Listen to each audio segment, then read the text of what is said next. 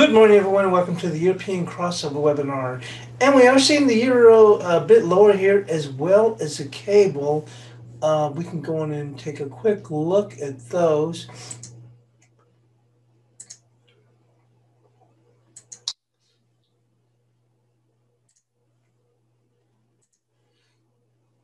And I'm looking at the futures as opposed to the cash. Uh, but we do have the euro in 2001 and the cash is trading at 1991 so the uh, 6e is trading a 10 10 tick premium to the cash. But you can see here uh, once we had that dip yesterday we had actually challenged uh, and i was just looking and i just shared it at the time. Right there we had just moved to the top of the opening range you know because opening range we have here in european trading and we just moved in the US session right at the top. And I thought this is a decent area for short. I posted short and all of a sudden, whoop, uh, that's when uh, came out about Janet Yellen potentially saying or saying potentially we could see have to get higher rates and uh, to keep the economy from overheating. We came back a little bit and we just kind of dithered in there, I guess into the mid oh, I guess it looks like about 2035, which had been about 2025 of the cash. We took a dip and then we spent, uh, Asia just kind of working higher. And you can see here, we just slid, slid a decent amount, uh, I guess about 30, 35 pips, or in this case, ticks down here. And we take a look at cable. Uh, same thing here with cable. Uh, we're actually much higher. Took a little bit of slide. Now, we just got German services PMI. On. That came in at 49.9. They're expecting 50, so just a tad bit weaker. Uh, Eurozone uh, services came in at 50.5. They're looking for 50.3. Uh, French uh, composite PMI came in at 51.6. They're expecting 51.7. All these pretty much came in line. Italian, 47.3, always the weaker one. They're expecting 49.8. Uh, and then, of course, Spanish services PMI was 54.6, uh, just a hair under the expected 55. Now, they did get Spanish unemployment. That came in at minus 39,000. So, good little dip there. Uh, good little dip in, uh, in the sense as a you know stretch, uh, not good in the sense of a good thing. Uh, we do have, um, bear with me, at the top of the hour, we will get uh, Eurozone PPI. Um, that'll be at the top of the hour, and we do get German uh, five-year Bobl auction. Um, that'll be uh, in another hour and a half, essentially. Coming into the states, uh, we do have non-farm payroll on Monday, so we get our ADP at uh, 8:15 Eastern. They're expecting 800,000. Um, that'll be a little bit of a market mover there. And uh, let's see, Chicago Fed Evans will be speaking. ISM New York business conditions will be at 9:45 Eastern. Um, and uh, non-manufacturing business activity will be at 10 a.m. Eastern. Uh, we did go and see a smart rebound here in S&Ps. You can see here also. Uh, boy, we take a dip down here, down here to the 4120 before we started, you know, moving higher, moving higher. And uh, boy, made a pretty good run before the close to get up here to the, um, uh, I thought we'd make it up to about 4156. We put made this quick push up to 4160 uh, and actually 62, and which was the opening range low, and then we dip back. And uh, quietly in Asia, we just started working a little bit higher, a little bit higher. 4167 looked pretty good. Um, but we made a push up to this 41, just a hair over 73, which is a good area there. We languished there. We did back to about what 41, 63, 64, and we made back another push up of these highs. And if you take a look at NASDAQ, it's been along the same lines too, made up to about 13,580. I was looking for us to make a move up into this range, and we certainly did. We actually did that uh, going towards the close. We pushed back again, and we just kind of languished here. Uh, 13,600, I believe, is the 38%. So that'll be interesting. That's actually, I believe, what we have our bias chart resistance for today. Um,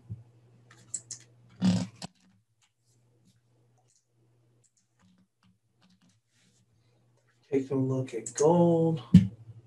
Gold really took a shock on that on that news. You see that we kind of whimpered back a little bit.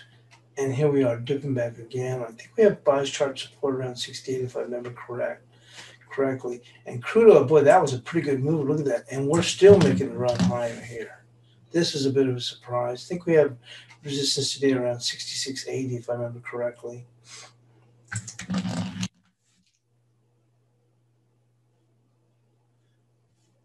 With that being said, we're going to make a run. Um, and uh, Paul says, "Good morning, morning, Paul. Uh, morning, Paul.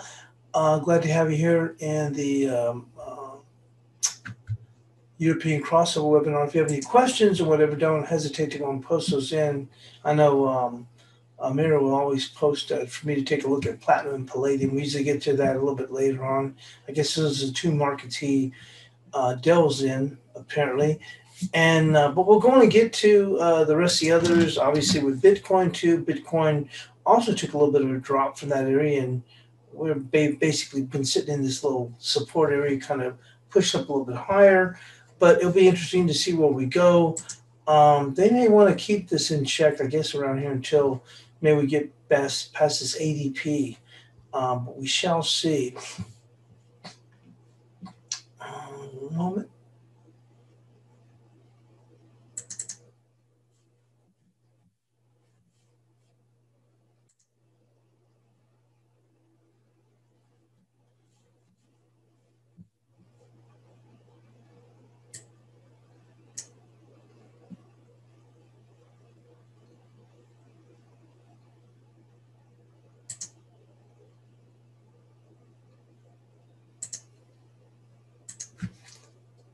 So let's get started and move into the euro dollar.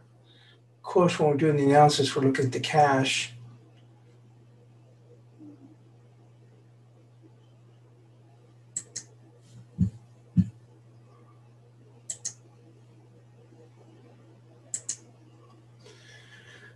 Now, the euro, after posting a minor rebound on Monday, then posts a bearish, you can see this, a bearish engulfing bar on Tuesday uh, and I put here support for Tuesday, didn't correct that.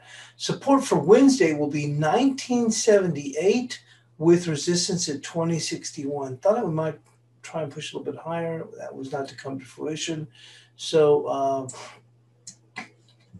we've got 2060, um, 1978 and 2061.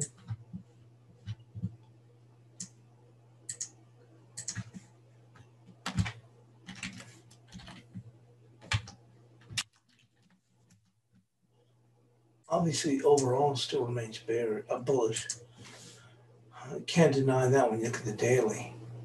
We're going to have to get some moves down here to get into a neutral mode.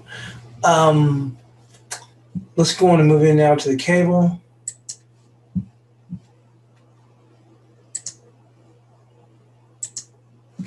Now, cable on Monday posted a bullish cloud cover. You can see that right here only to close a bit lower on Tuesday. You can see here um, with a hammer. Could even say it might even be like a hanging man if we were much higher, but um, it does indicate here uh, resistance on Wednesday will be 39.41. Looks like we ran out of gas here, 39.17. 39.41 with support at 39.13. Uh, that cannot be right here means to be 3813. It wouldn't make any sense if it was just the lower, so it should be 3813. So 3941 and 3813.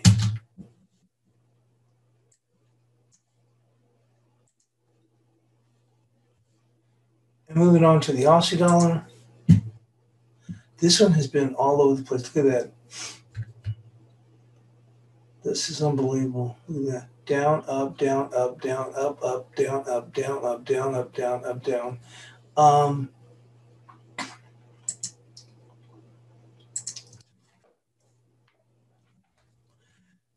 the up and down affair of Aussie continues. Tuesday was the down day. The pair hit some stops just above 77.68. Support on Wednesday will be 76.59 with resistance at 77.61. So we're kind of dipping, but in rather tight range though nonetheless. So once again, it's going to be on the downside, 76.59.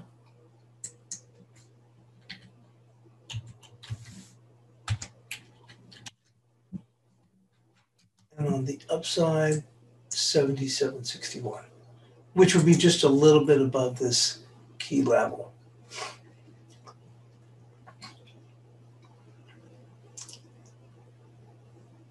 With that, we'll go move into the dollar yen.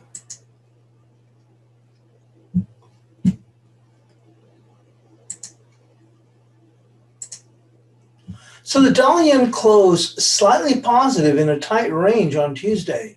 Resistance on Wednesday will be 973 with support at 888. Wow, we are trading in a super tight range right now. We're not going anywhere.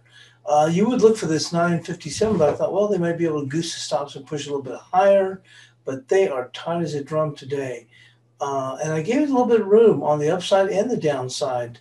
Uh, we've been kind of stretching these ranges a little bit, and they're just trading super quiet today. So, nonetheless,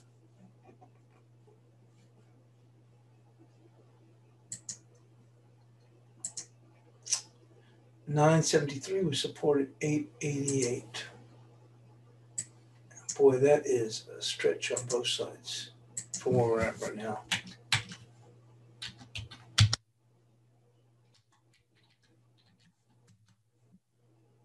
Moving on to the cash dollar index.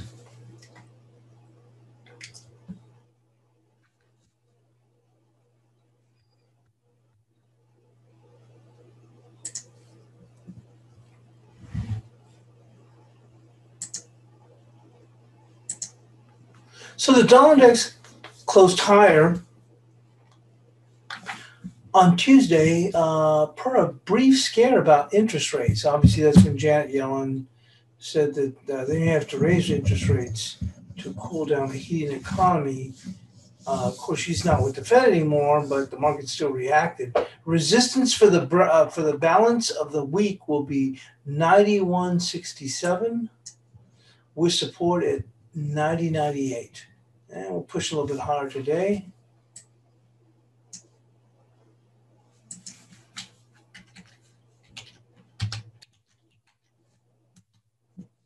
Obviously, still remains bearish, quite bearish.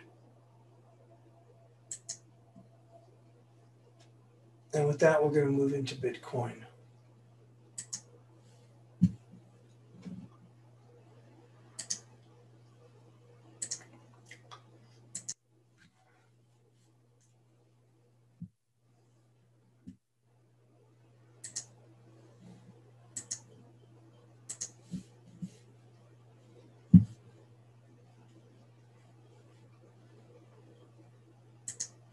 And here's Bitcoin on the daily.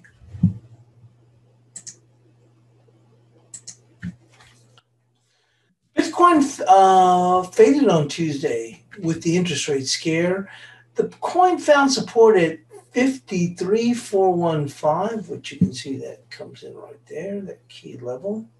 53415. Resistance for Wednesday will be 55,500. We're trying to push a little bit higher uh, was supported 52,770.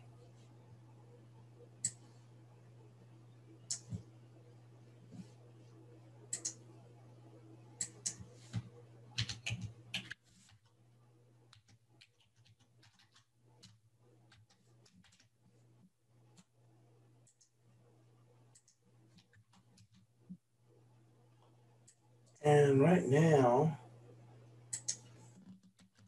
is 55, 325. We're not too far away from today's bias chart resistance. 55, 500. And with that, we're going to move into the S&Ps.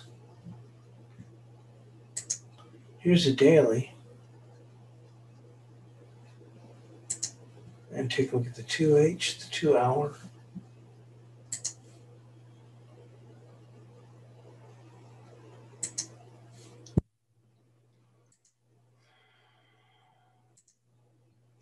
So the S&P broke solidly through the pivot of 4164 that pivot should be 4167 through the pivot of 4167 67 falling as low as 4120 the index rebounded to 4162 before closing at 4156 resistance on wednesday will be 4167 pivot with a stretch to 4173 so we've got the stretch of 4173 but it certainly looks like it wants to get beyond that we shall see so 4173.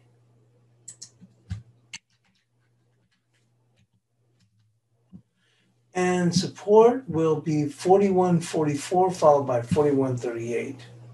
So considering where they're at right now, let's see. I'll just go with that nonetheless.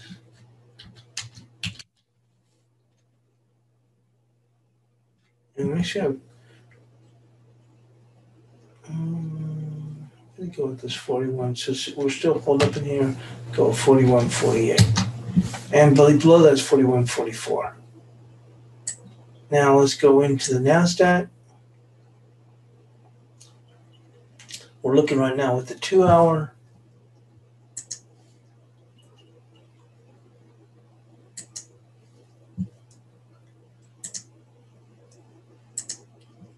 So the Nasdaq broke thirteen thousand seven hundred. You can see right here, thirteen seven one five.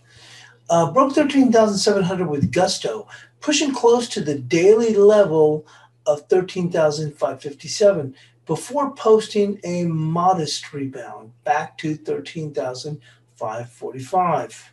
Currently at thirteen thousand five ninety. So we're actually on our highs right now.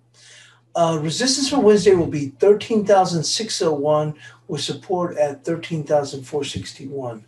So resistance is going to be 13,601. And support is going to be 13,461. And if you take a look at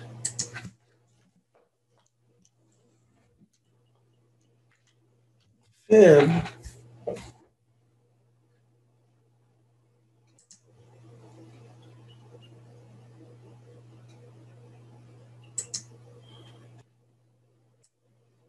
Um, the fib comes at 13643. 13643. So we'll mark that off.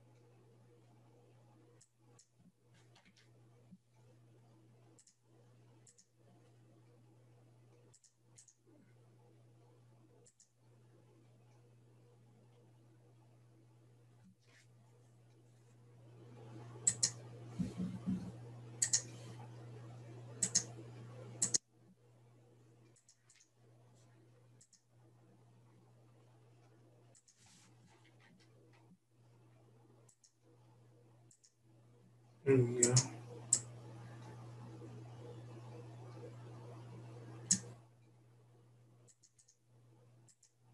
we go.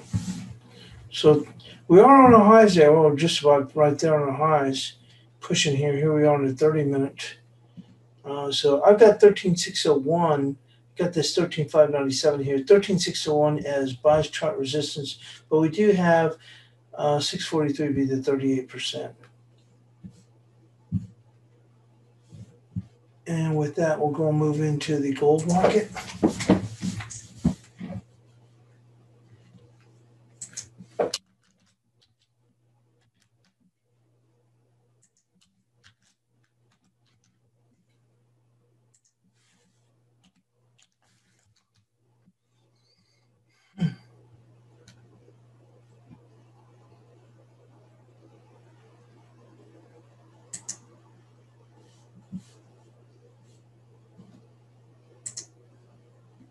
And boy, did gold get whacked pretty good. Remember yesterday we had resistance at 1803, and it looked like we were on our way to getting to 1803. Uh, the market got up as high as, um, it actually made new highs for the move. Got up as high as 1799.5. Thought we were going to get to 1803. A lot of people are looking for a much bigger move in gold, and we got whacked by Janet Yellen.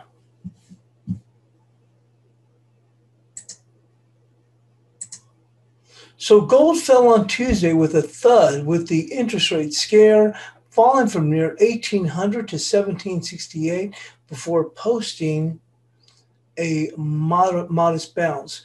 Resistance on Wednesday will be 1788 with support at 1764. So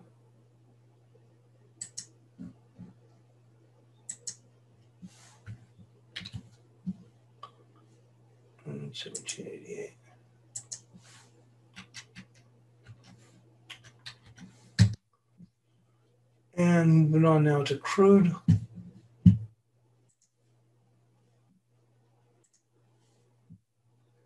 Holy smokes, crude's on its highs. Look at that thing go. Sheesh.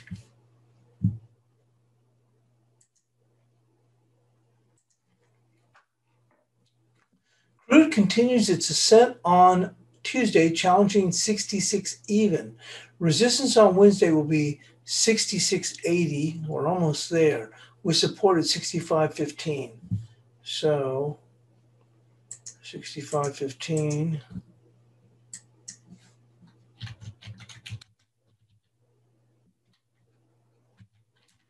Resistance is 6680. And how do we come up with 6680? Uh, we looked over here. And I went with, you see right here, this little gap? What with that opening? There's 6680. Looks like 6679.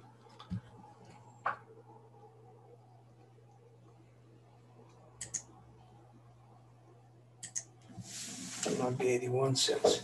Anyway, there we go. Then we came up with the 66. She says it's 6681. That's how we came up with 6680, or in this case, 81. I'm looking at a two hour chart.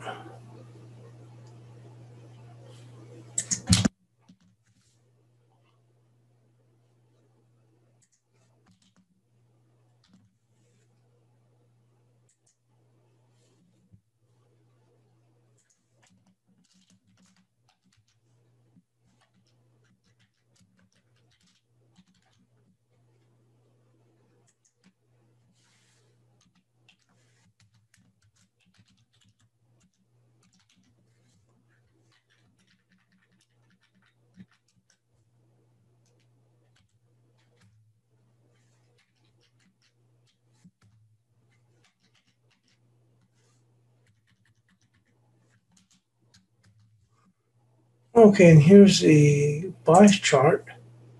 We'll take a look at a couple other things for right now.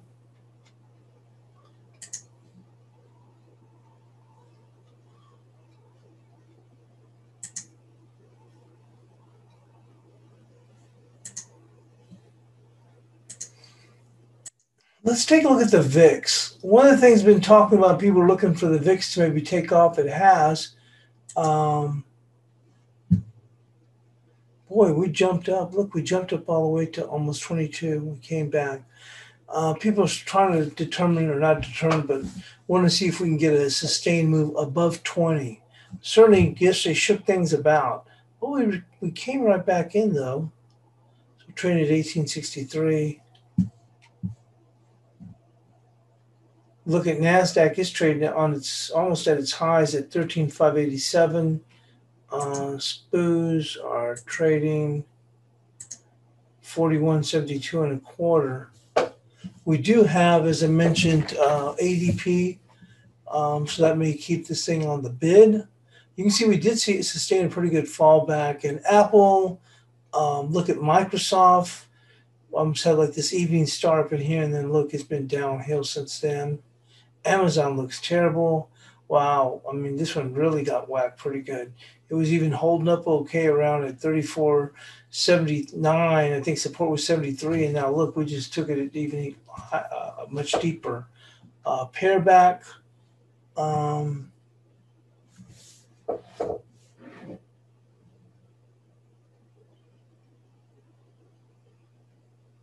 wow, I cannot look at dollar CAD. Unbelievable. That thing cannot stop from falling. Holy smokes.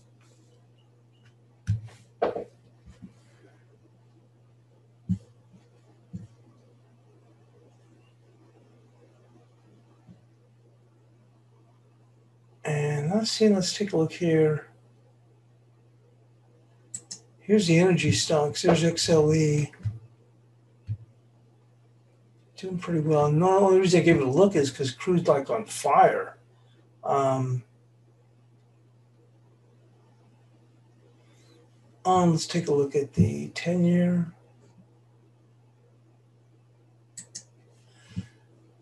We actually took a dip yesterday as stocks got spooked. Even though you would have thought that bonds would have sold off with Janet Yellen saying potential raising rates, they bought them when they saw these these uh, indexes go lower.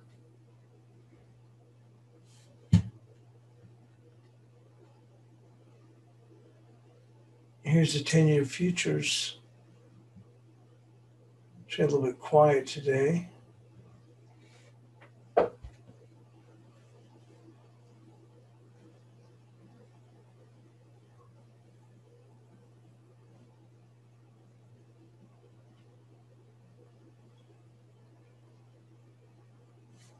And moving back to euro dollar.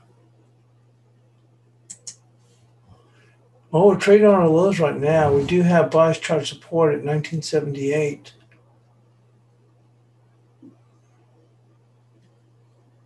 Take a look here on a uh, two hour chart. Looking rather sickly. As I mentioned, supports at 1978. We've actually gone as low as looks like 1985.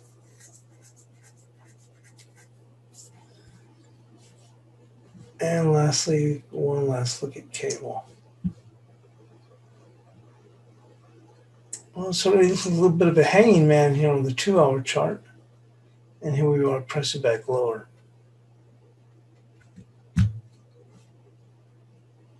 And with that, that I will call it a day. And I'll get the bias chart posted and we'll see you in the chat room. And thanks for joining us here on the European Crossover webinar.